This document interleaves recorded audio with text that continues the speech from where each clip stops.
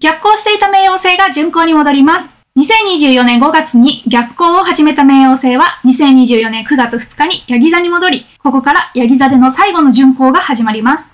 そして約1ヶ月経つと水亀座に入り、本格的な風の時代へと突入していきます。改めまして、こんにちは。住役代表の住江です。すみのマネージャーです。プロフィールはこちらです。星の動きの最新情報が届く LINE のお友達登録もお願いします。登録していただくと、プレゼントとして、西洋先生術を学ぶ近道がわかる無料講座、プレ、クラゲでもわかる星読み講座をお届けします。はい、この動画では2024年の冥王星が巡行に戻るとき、社会がどのような動きになるのか、我々に起こる影響や過ごし方について解説していきます。まずは最近の冥王星の動きについて解説お願いします。はい。冥王星は2023年3月24日に15年ぶりに再移動し、ヤギ座から水亀座に移動した後、逆行と巡行を繰り返し、水亀座とヤギ座を行ったり来たりしていました。冥王星はここから巡行に戻り、2024年11月20日までヤギ座を運行し、11月20日には水亀座に再び入り、そこから約20年間の冥王星水亀座時代に突入します。もう戻ってこないんですね。そうなんですよ。もう戻ってこないんです。じゃあ、こいよいよこから、はい本格的に入ると。いうことで、えっ、と、冥王星水亀座期間の動画は別にあげますか？そうですね。うんはい。じゃあ、今回はこの巡行のポイントとはいいうことで解説お願いします。今回のポイントは3つです。1つ目は、風通しを良くするです。2020年頃から風の時代って言われ始めましたよね。そうですね。もう始まってるのか、まだなのか、なんかよくわからないくないですか？そうですね。始まってますか？まあ、始まってるっちゃ始まってるんですけども、うんまあ、まだね、過渡期っていう感じではあります。で風の時代って、まあ、その名前の通りなんですけど、風通しの良さっていうのが大事なんですよね。で、風通しの悪い積み上げられた壁っていうのは、ここからこの1ヶ月とかで崩れていくかなと思っています。冥王星は破壊と再生、変容を司る天体で、変容とは姿や状態を変えることになります。この巡行中にその壁が崩されて不要になった産物のデトックスが始まるかなという感じです。2020年から2025年は地の時代から風の時代の移行期です。2025年には天王星や海王星も再移動して、2026年にはトランスサタニアンが風と火のエレメントだけになるので、2026年で完全に移行したっていう感じになるかなと思います。この2020年にあったグレートコンジャンクションでしたっけ、はい、そうです。そこから風の時代だと思っていたんですけど、うんまあそこから始まったは始まったんですかね。はいはい、うん始まったは始まったなんですけど、まだその、ちょっとこう、グラデーション的に、ほうほうほう。はい、やっているっていう感じなので、少しずつこう、地の時代よりも風の時代が今濃くなってきたぞ、みたいな感じですね。うんうん。で、それが完全になるのが、この天王星、海王星、冥王星あたりが移動すると、もう。完全にはい。いったるぜと。はい。至るぜと、はい風の色になるぜと、はいそういう感じです。で、今は時代の過渡期なんですね。うんなので、コロナ禍があったりとか、地震があったりとか、銀行の倒産とか、金融の乱高下もありますよね。そうですね。で、芸能界や政治界の闇がね、明るみになったりとか、首相や大統領を狙った銃撃とかもありましたよね。はいちょっとね、過渡期はやっぱいろいろと騒がしいことが多くなるかなと思いますちょっと。物騒ですね。そうですね。今回巡行に戻った冥王星は天王星や海王星より一足早く2024年11月20日に風のエレメントである水亀座に移動します。でここからいよいよ本格的な風の移行期が始まると思ってもらったらいいかなと思います。そして、その本格的なスタートの前に最後の地のエレメントであるヤギ座での巡行期間の1ヶ月が今からスタートという感じです。地のエレメントは物質や目に見えるもの、確かなものを大事にします。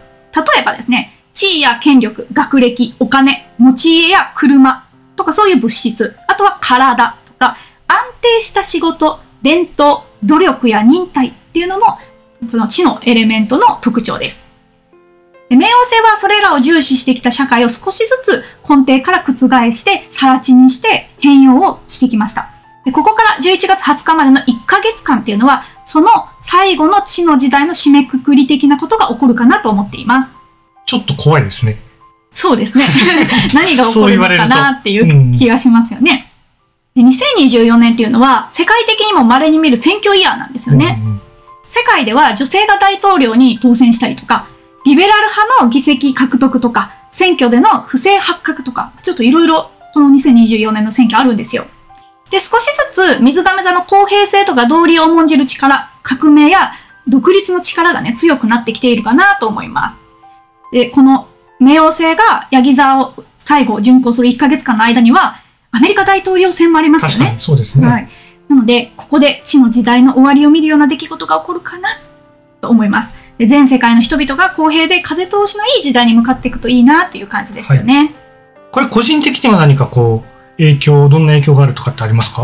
そうですね。風の時代っていうのは身軽でいつでも向きを変えられることが大事なんですね。風ってこう突風になったりいろんな方向に吹いたりしますよね。うん。なので、あの軽いっていうのが大事だと思います。クローゼットの中の風通しを良くするために断捨離をするとか、物を持ちすぎないようにするとか、そういうのを少しずつ進めていくのもいいかなと思います。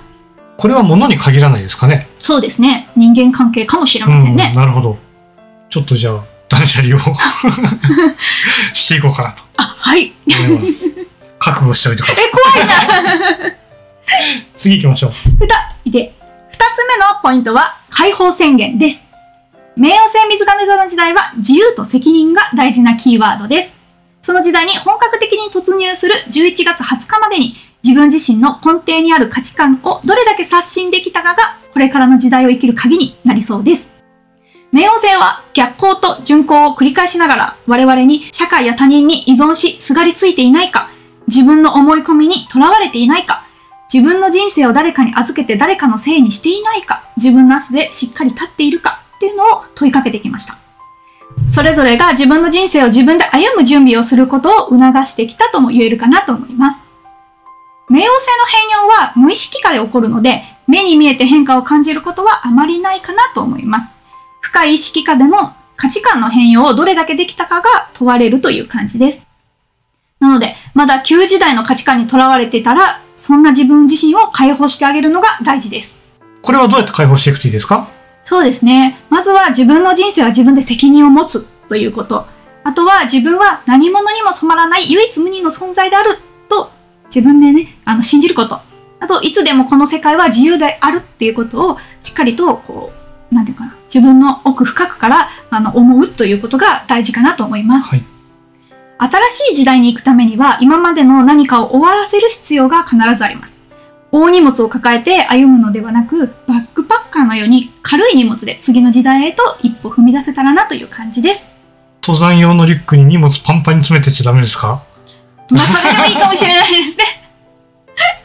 なんかそうなっちゃいそうです、できればね、あの、必要なものは現地と調達がいいかな。はい。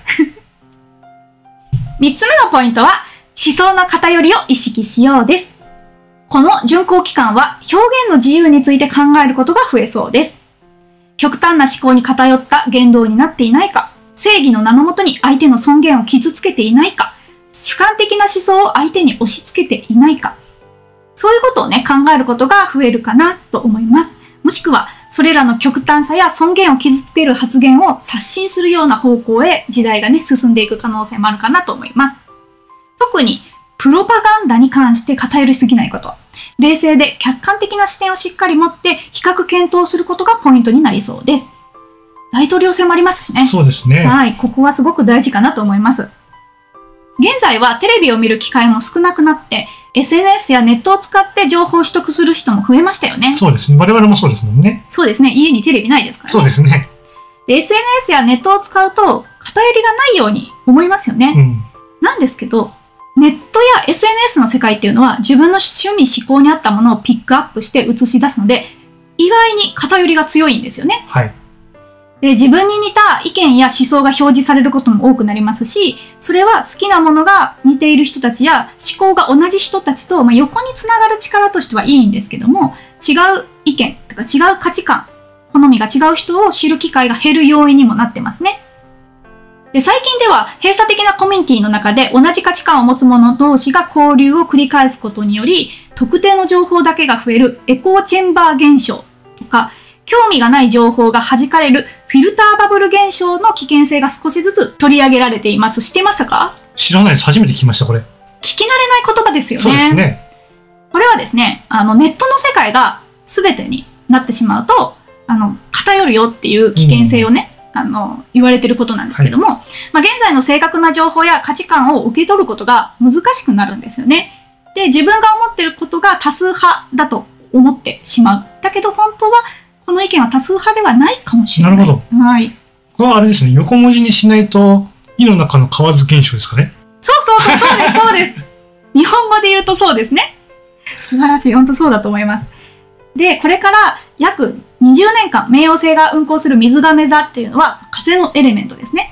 で風のエレメントは情報や知性、客観性、交流が大事なんですけど、水亀座は不動級なので思想の偏りが結構強いサインなんですね。自分のこう考えはこれだっていうのがこう結構固まっててあんまり変わらないっていうのが水亀座なんですよ。なので、その水亀座の思想の強さっていうのを冥王星はこう変容、破壊して変容していくっていうのがこの20年間になります。はい、なので、えー、エコチェンバー現象っていうのは、まあ、閉鎖的な空間で起こることが多いし、フィルターバブル現象はネット検索での個人の閲覧履歴でフィルターがかかるということなので、偏りがね、強くなるってことですよね。そうですね。はい。だからこういうネット社会の仕組みを知るっていうのがすごく、あの、これから大事かなと思ってます。うんで、オープンなやり取りを心がけることとか、情報の取得をネットだけじゃなく、別のところでもね、あの、意識するっていうことや、まあ、情報から適度な距離を取りながら、自分が接する情報が本当にこれは正しいのかな偏っていないかなっていうのを、冷静に判断する術っていうのを身につけていくっていうのが大事かなと思います。はい。これはネットだけで完結させないっていうと、具体的にはじゃあ、例えば他にどういうところから情報を取ってますか？まあ、本とか、はいはいはい。新聞とかでもいいでしょうし、うん、あとは、やっぱ直接喋るとかですね。それがまあ一番ですね。はい。うん、直接交流してお話を聞くとかも大事にしていく方がいいかなと思います。はい。先ほどちょっとこう、個人への影響の話も出たんですけど、はい、もう少しなんか個人どうやって見るとか、どういう影響があるみたいな話ってありますか？そうですね。個人の影響を見たい方は、ヤギ座が何ハウスにあるのかを見て、そのハウスの最後の仕上げを行って、次の水亀座が何ハウスにあるかで、次の変容する場所を見極めていくといいかなと思います。で、トランスサタニアの影響っていうのは、こう、ちっぽけなね、我々があのどうすることもできないんですよ。なので、自分の中でこの変容が起こってるなと思ったら、それに抵抗せずに自然の流れに身を任せることが大事かなと思いますし、なんか変わりたかったぞっていう人は、まあ、ここからしっかりと変わっていけるかなと思うので、冥王星の力を借りるっていうのは難しいですけれども、まあ、大きくね、自分がこう、変わっていくぞっていう気持ちでやっていければいいのかなと思います。はい。いつも高評価、コメントありがとうございます。ライブ配信も遊びに来てください。アーカイブもあります。